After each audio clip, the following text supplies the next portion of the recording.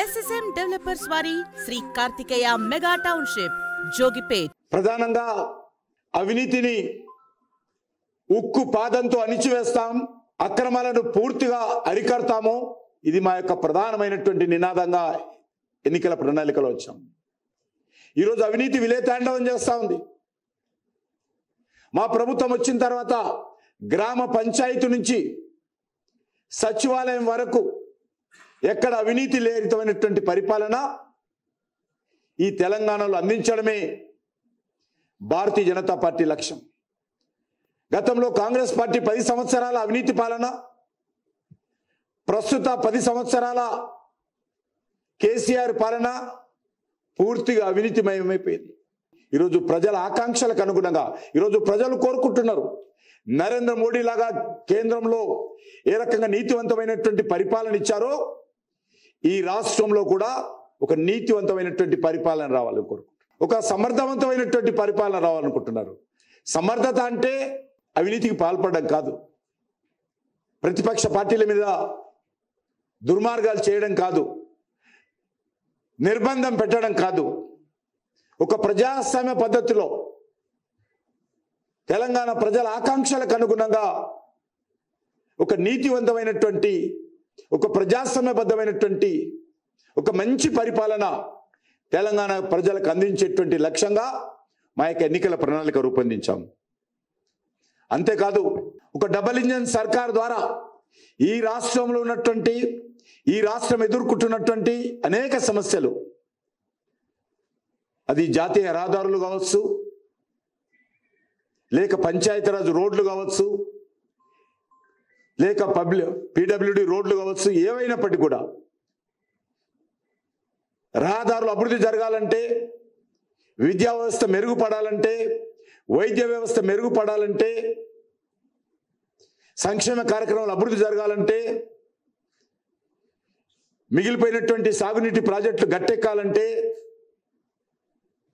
ఉపాధి అవకాశాలు మెరుగుపడాలంటే మరింత పెట్టుబడులు రావాలంటే అది డబల్ ఇంజిన్ సర్కార్ ఉంటేనే బయటపడతాము.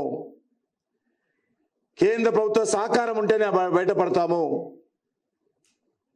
ఎందుకంటే ఈరోజు కోలుకోలేనటువంటి ఈరోజు తెలంగాణ రాష్ట్రాన్ని కోలుకోలేని విధంగా ఆర్థిక మూలాలను టిఆర్ఎస్ పార్టీ దెబ్బతీసింది. ఈరోజు ఒకటో తేదీ జీతాలు ఇవ్వలేనటువంటి పరిస్థితి ఉన్నది. భూములు అమ్ముకొందే ప్రభుత్వం నడపలేనటువంటి పరిస్థితి. ఔటర్ రింగ్ రోడ్డు ముప్పై సంవత్సరాలకు అమ్ముకుందే ప్రభుత్వం నడవనటువంటి పరిస్థితి. లిక్కర్ షాపులను ఆరు నెలల ముందే అమ్ముకుందే ఈరోజు ప్రభుత్వం నడపలేనటువంటి పరిస్థితి ఉన్నది. మళ్ళీ టిఆర్ఎస్ పార్టీ గెలిచినా కాంగ్రెస్ పార్టీ గెలిచినా తెలంగాణ ప్రజల చేతుల్లో చిప్పబెడతారు తప్ప కాంగ్రెస్ పార్టీ గెలిస్తే తెలంగాణ ప్రజల నెత్తి మీద భస్మాసురాస్తం పెడతారే తప్ప తెలంగాణ ప్రజలకు న్యాయం జరగదు. తెలంగాణ అభివృద్ధి కుంటుపడుతుంది. తెలంగాణ ఉద్యమ ఆకాంక్షలు అడుగంటిపోతాయి. ఉద్యమకారుల ఆకాంక్షలు ఆత్మలు ఘోషిస్తాయి. కాబట్టి తెలంగాణ ఈ పరిస్థితి నుంచి బయటపడాలంటే ఏకైక మార్గము డబుల్ ఇంజన్ సర్కార్ భారతీయ జనతా పార్టీ సర్కార్ బీజేపీ సర్కార్ తెలంగాణలో రావాలి. కాబట్టి తెలంగాణ విద్యావంతులు మేధావులు కవులు కళాకారులు కుల సంఘాలు అన్ని వర్గాల ప్రజలకు విజ్ఞప్తి చేస్తా ఉన్నారు ఏ మాత్రం మనము పొరపాటు చేసినా మొత్తం తెలంగాణ నష్టపోతుంది. తెలంగాణ అన్ని రకాలుగా వెనుకబడిపోతుంది. తెలంగాణ ఉద్యమకారుల ఆకాంక్షలను మనము అన్యాయం చేసిన వాళ్ళు అవుతామని మనం చేస్తా ఉన్నాను. విద్యారంగంలో సానుకూలమైనటువంటి మార్పులు తెస్తాం.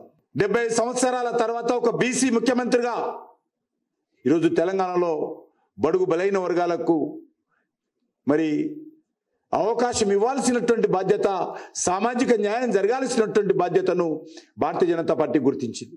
అందుకే సకల జనుల సౌభాగ్య తెలంగాణే ధ్యేయంగా బీజేపీ ముందుకెళ్తా ఉందనే విషయాన్ని ఈ సందర్భంగా మనం చేస్తూ నేను చివరగా కోరేది ఒకటే ఈరోజు నుంచి ఉధృతం చేస్తాం.